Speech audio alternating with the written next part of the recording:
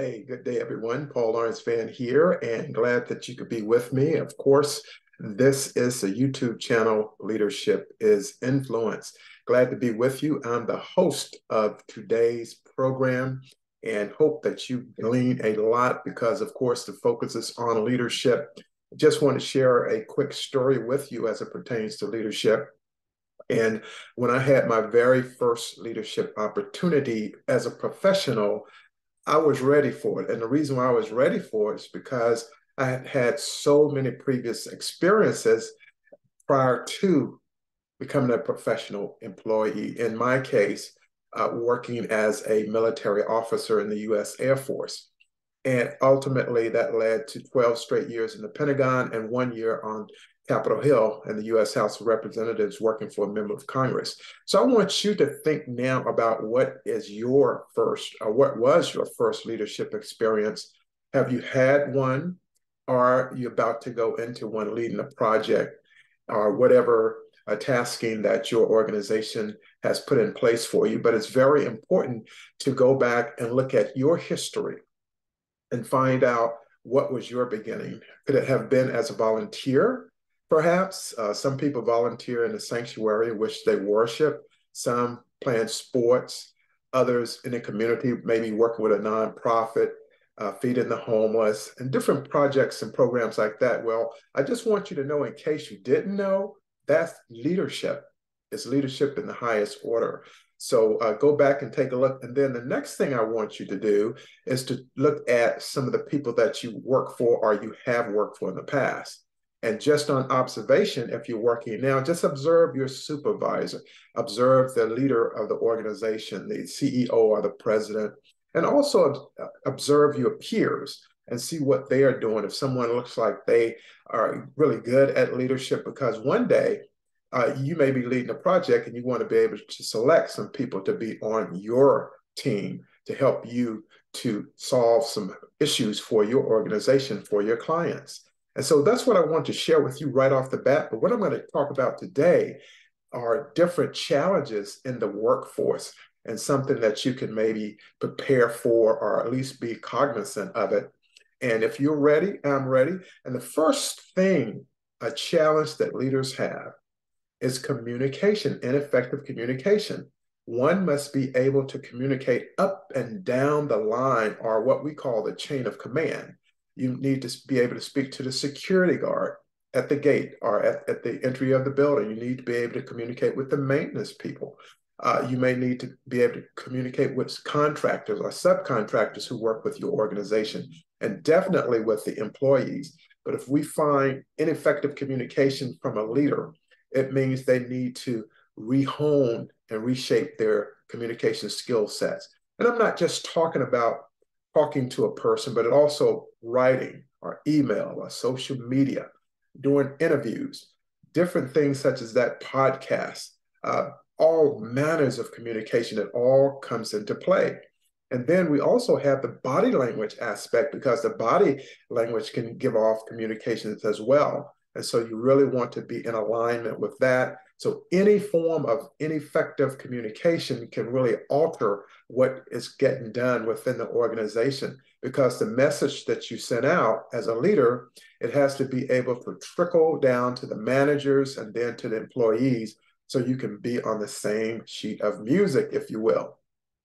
I don't mean singing in the choir. I mean being able to communicate with an individual that they have a clear and coherent message and they know exactly what the task is. And I used the example of we had a project in our leadership program I went through, and what what the the way this process worked, the person who headed up the table, he knew the question to ask, and he would ask the person to his right on and on until it reached the fifth person, the sixth person, the tenth person. And then they would have the 10th person repeat what the question was. And perhaps maybe 50% of the time, the message would have been communicated around the table clearly, but the most, most times it wasn't because there was a little bit of change. Maybe it was that someone didn't understand exactly what was communicated, or maybe some people forget because people have different uh, ways of interpreting things. They have different ways of listening style. You know, active listener versus someone who's just kind of doing it by, you know, by hand. They're they're just kind of um, doing it from the standpoint of, well, okay, fine. You know, they're not really interested or focused in it. So effective, ineffective communication can really uh, stop uh, the mission from being uh, completed, uh, not getting the results that you're looking for, and, and a amount of other things. Just like I'm here uh, on this video. Everybody's not comfortable in front of a video. And for me, I've spent time on live television and uh, what what is kind of humorous is that I would actually receive questions from the the uh, manager, uh, the person who's managing the segment for the live shoot, and uh, they would give me the questions. I would study them as much as I can in the, the day or so that I had. And once I would get to the actual interview live, they wouldn't even ask the questions that they sent me. so again, ineffective communication can stop the whole show but it, the show must go on. And so, with that being said, I'll get to the next thing that is a great challenge for leaders, and that is change management. So, what is change management? Change management is a company that's led by an individual, and they decide they want to shake things up. In other words, they want to make some adjustments to the schedule of the employees. They want to make a change to the protocol. They want to make a change to the project. And so with these all of these changes, it doesn't mean that everyone is receptive to it. Now they are employed by this individual and that individual heads up the organization, but that does not mean that they really want change because change is constant. However, what is the one thing that people really don't like? You guessed it, change. They don't like to change. So uh, when when a person uh, has a tasking, and let's say that that tasking is is that we want these uh, pilots, we want them to practice uh, this maneuver six times. And it's they're a precision uh, flying unit, and they're out there, and any mistake can cost the entire entire uh, squadron, if you will. And if you go out there and you're not don't know exactly what to do because this change has been made, Maybe it's one less rotation or adding an additional rotation in the flight path that they're taking and the protocol for it, it, that could really ruin a lot of things. So it takes consistent practice, getting the change down pat. Typically, they don't get it right the first time. So it's one repetition, two repetitions, on and on and on until they get it what we call perfection even though perfection doesn't exist, but it's the closest thing we can do. So maybe we would say they get it to excellence as best that they can. But change ma- management is real. And it's one of the greatest challenges that leaders have. And unfortunately, everybody on the team or in the staff, they don't get it or they don't want to make that change. And ultimately, over time, they will because it becomes a daily habit. So it becomes a routine. And eventually, it locks in, and people know exactly what to do. And they eventually embrace the a change management that's taken place. And that change management could very well be something that uh, you're going to work an extra hour each day, Are you're going to work one less hour each day. And if you have children, that means if you're picking up children from school, that may alter your entire uh, after work uh, routine. And so it's different things such as this that uh, leaders have to make an adjustment for. And so, so far we've covered ineffective communications and change management. And now we want to talk about employee mental health issues. And uh, I would not be surprised if every organization in the world had some mental health issues with employees. And they may not be anything that's detrimental to the organization, but it's just acknowledging that a lot of people come under stress, they come under pressure, they come under anxiety, and it's real.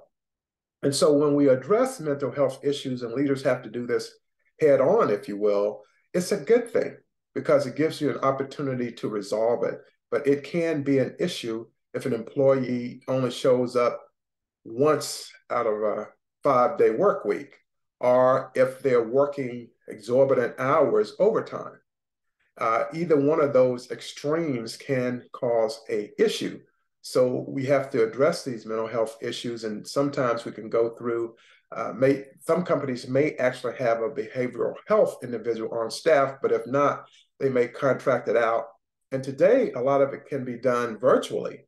So uh, there's nothing uh, that can really uh, prevent it from a person from participating in it and I, I just want to caution people to don't think that because a person has a mental health issue that there's something wrong with them. If a person has a mental health issue and they try to get it addressed, everything is all right with them.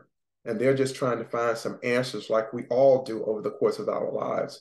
And so when we look at mental health issues, things come into play such as empathy, uh, being conscious of others, um, really coming in and being in another person's shoes, if you will, and being able to understand that a lot of people have issues. We may have a, one of the employees and she's pregnant and she needs time off. And if she's receiving pressure from the fact, well, you won't be here for X amount of weeks or months, and that can add anxiety, or a person who is really struggling to get their job done and they're concerned about losing that job and their source of only source of income. So there are a lot of things taking place, or if someone is, is getting married, that has a certain uh, level of excitement and can kind of throw the focus off. But then someone who's getting a divorce has the opposite effect. It, it can impact them. And uh, it's just something that leaders need to be aware of. So, employee mental health issues. The next uh, issue that leaders run into is conflict management. Now, this is something that is really important to address, being able to resolve issues internally within the workplace. And for that matter, to extend that in the workforce itself. But conflict management does occur. Uh, everyone doesn't get along at times, and there are differences, and people have to be able to work out those differences. So, a process or protocols have to be put in place to address the issues so the issues won't get out of hand uh, whether it's a white collar type employment or blue collar employment, whether it's union versus non union. There are a lot of different issues to take into account when it comes to conflict management, and it should be written in the corporate policies in terms of how they would handle that. And if it's a union based, then there will be some policies for conflict management as well. But it is real and it happens uh, every day somewhere, even in the military uh, Mobil Oil, they had it. UPS, when I worked for them when I was in college, they had had different uh, uh, protocols and they have different bylaws and different uh, corporate policies that take place. And it's just something that leaders have to be aware of. And, and they have to have the ability to resolve the issues. Because if a leader adds to the conflict, nothing good is going to come out of that situation.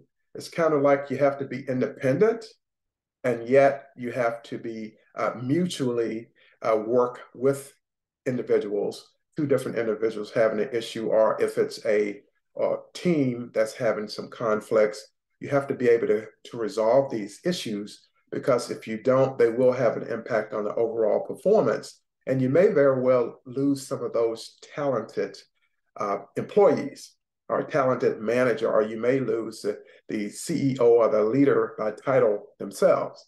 So it's something that has to be addressed. It's not something to avoid and just put it off like, oh, it'll blow over. Trust me, it will not blow over.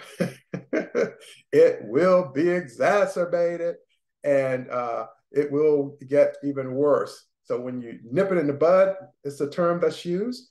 If you address the issue straight on, uh, document the conversations that are taking place, and then really look for a resolution and, and, and document that resolution as well, because life is all about real. It's people, real people, real issues at times.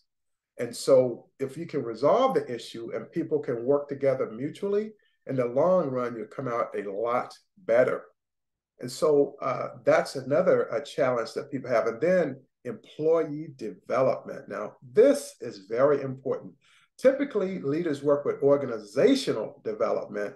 They want to assign a person uh, to a different uh, course, or they're going to have a lot of um, meetings and bringing people in and they're going to go over everything that they're trying to accomplish. But when it comes to, to employee development, uh, it's different things uh, such as maybe having them attend a leadership workshop. Maybe you see the value in bringing in someone, provide a standardized program for all the employees to include the employee, the manager, and the CEO who sits in on it. So everything will be standardized and everyone will be on the same sheet of music, if you will. And so it's very important to develop employees. If the employee needs to improve their communication skills, that's something to consider. If they need some soft skills, uh, being able to communicate with people, being able to uh, troubleshoot uh, issues that, that may be occurring, and then trying to find some different ways of improving the uh, conditions in the workplace. Uh, it could be that someone uh, volunteers and rotates like we used to do in, in one of the organizations, and they may bring in uh, coffee for people. So people may very well decide, hey, we're going to go to Starbucks or the nearest coffee place, bring in coffee, or we could and have a coffee time, coffee hour. They may bring in some donuts or some bagels. And so, or they may just go to breakfast. So you, you're going to develop people, you're going to talk, talk about different ways to help them if, if it's even a writing skills or could be technical issue where you teach people how to be better as a handling the computers now. You know, they have the different uh, applications of chat, GPT, AI, all sorts of things, and some of that employee development could very well go into that, that um, area in terms of helping that development.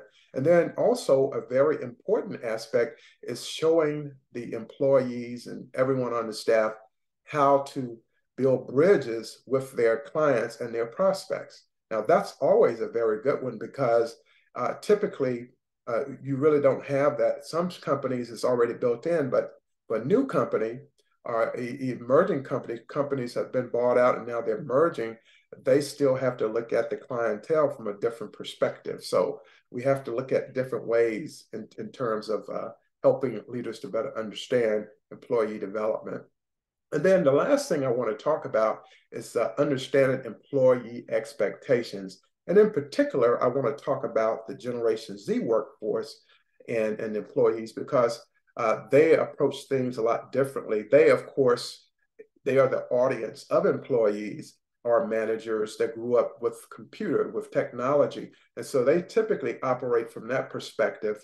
Uh, I heard an example from uh, HR, one of the HR experts, and uh, she had attended a conference and she stated that uh, there, there was a calendar, a schedule, uh, the Google calendar schedule that most of the employees use, but Generation Z decided, well, you know, I don't really want to sit in front of a computer. I want to do it directly off of my phone my cell phone, uh, smartphone.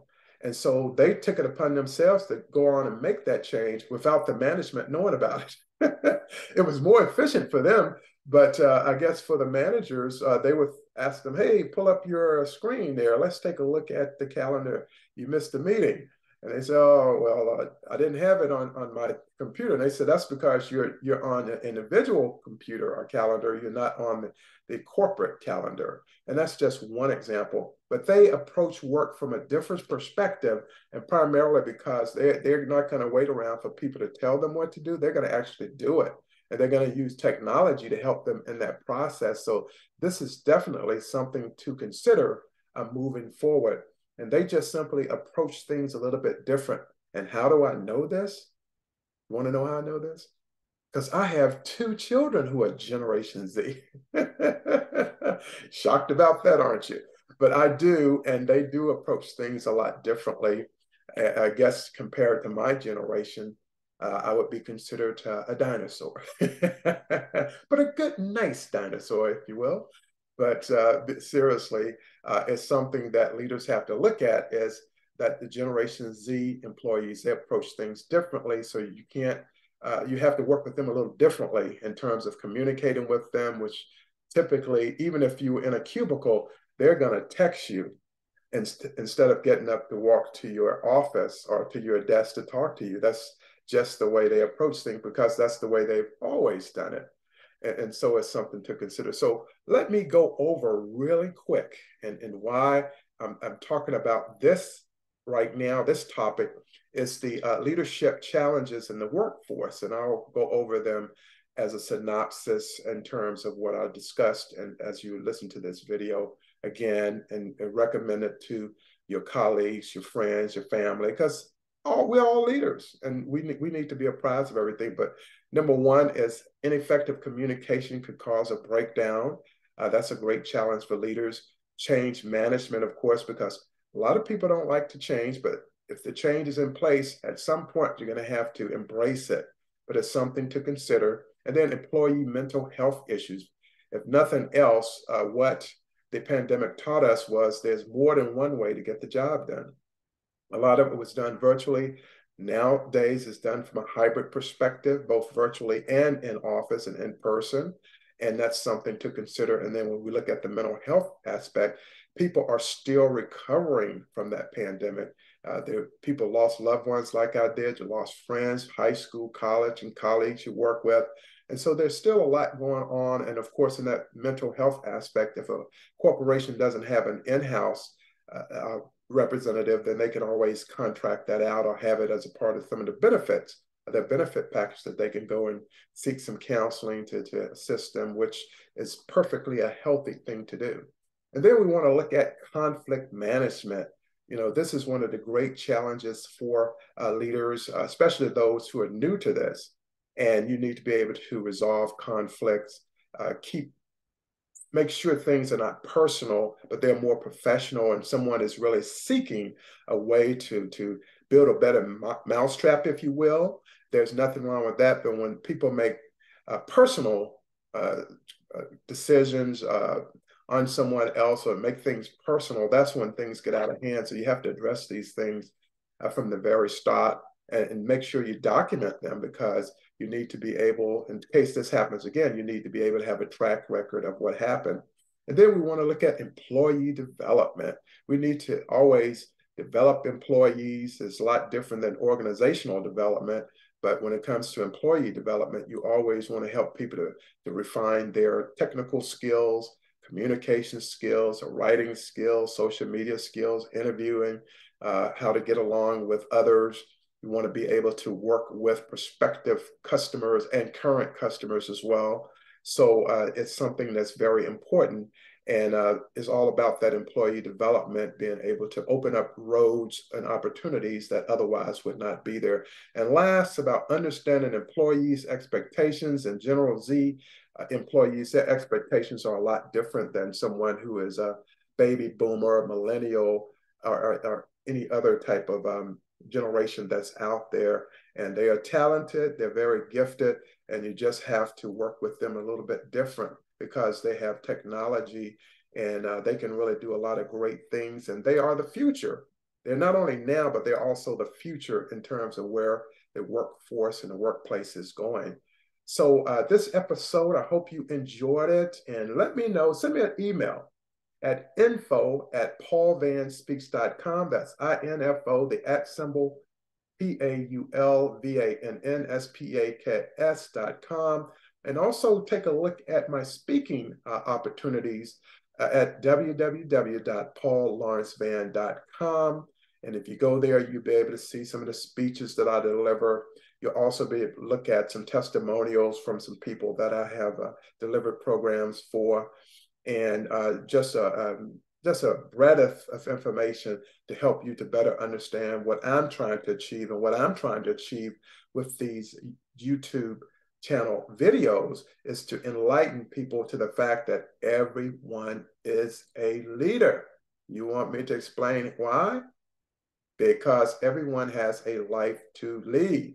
And secondly, you do not have to have the title of leader to lead. You're leading directly from the position that you are as an employee or a manager. And over time, you build up and you become a better leader as well as a leader of influence.